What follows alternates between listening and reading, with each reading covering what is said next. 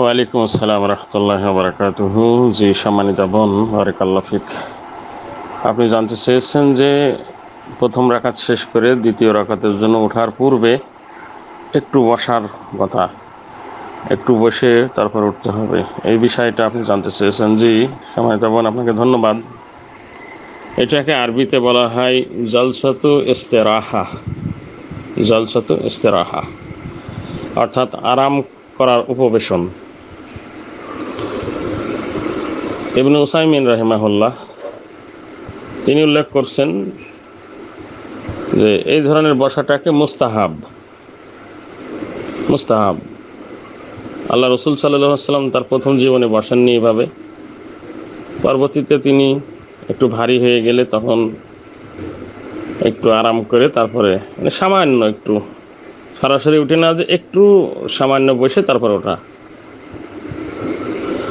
এটাকে তিনি এভাবে বলছেন যে শরীর ভারী ভারী হয়ে যাওয়ার কারণে পরবর্তীতে তিনি এভাবে উঠতেন। এটা সর্বোচ্চ আমরা বলতে পারি মুস্তাহাব। ইবনু বাজ রাহিমাহুল্লাহ তালা তাকেও প্রশ্ন করা হয়েছিল। তিনিও এই কথা বলছেন, এটা মুস্তাহাব। যদি কেউ করে, করতে পারে, ভালো। যদি কেউ না করে, তার কোনো মানে নামাজের স্বভাবের কম বেশি হবে না। প্লাস তার কোনো ঘাটতি হবে না কোনো বিষয় নামাজের ভিতরে।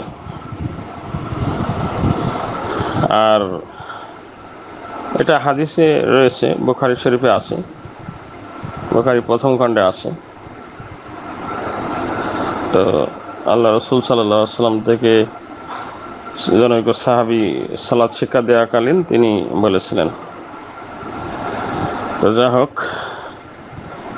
এখান থেকে আমরা এটা বিষয় নিয়ে একটা বিষয় কথা বলতে চাই, সেটা হলো আমাদের দেশে সই আকিদার ইমাম সাহেবগণ আলে হাদিস ইমামগণ বা আলে হাদিসের আলেমগণ, এটা নিয়ে এমনই বাড়াবাড়ি করেন যেন এটা ওয়াজিব ফরজ হয়ে গেছে। ওয়াজিব ফরজ হয়ে গেছে। এটা না করলে অনেক সময় অনেকেই নাক ছিটকায়। মনে করে না যে ইনি সই আকিদার। হ্যাঁ এইগুলো থেকে যদি বিরত থাকা হয়, তাহলে ওরা মনে করে না যে এটা সই আকিদার কোনো আলেম। যদিও আলেম, তারপরেও এটা করলে তখন মনে করবে যে না, এরা সই আকিদার। হ্যাঁ বাড়াবাড়ি। সেটা হলো, দেখা যায় এমনভাবে সেজার থেকে উঠে বসে বসে পড়ে যে মনে হয় যেন অন্যান্য মুসল্লি উঠে দাঁড়িয়ে যায়। ইমামের আগে অন্যান্য মুসল্লি উঠে দাঁড়িয়ে যায়। এটা হারাম। ইমামের আগে যদি মুসল্লি উঠে দাঁড়িয়ে যায়, তাহলে তার অবস্থা খারাপ। কঠিন হুঁশিয়ারি বাণী আল্লাহ রসুল শোনাইছেন। ইমামের আগে মাথা উঁচু করা বা নিচু করলে তার মাথা আল্লাহ গাধায় পরিণত করে দেবেন। বুঝেছেন? অথচ ইমাম এমনভাবে যেতে বসে, মনে হয় যেন মুসল্লিরা উঠে দাঁড়িয়ে গেছে ওনার আগে মুসল্লিরা উঠে দাঁড়াই গেছে। সামান্য সামান্য একটু বসে তারপরে উঠে যেতে হবে। তো এটা যদি মসজিদে সমস্ত মুসল্লিদেরকে নিয়ে ওয়াজ করতে হবে, তাদের নিয়ে আলোচনা করতে হবে, তাদেরকে অবগত করতে হবে এর হুকুম সম্পর্কে,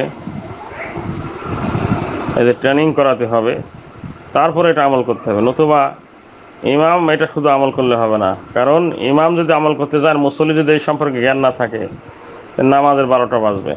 বুঝেছেন? ইমামের আগে সব মুসল্লি উঠে দাঁড়িয়ে থাকবে। এই জন্য এই বিষয়গুলো আমাদের খেয়াল রাখতে হবে। এটা মুস্তাহাব কাজ, কিন্তু এটা আমল করতে যদি ফরজ ছুটে যায়, ফরজ কাজগুলো ছুটে যায়, তখন কিন্তু সমস্যা। এটা নিয়ে বাড়াবাড়ি করা যাবে না।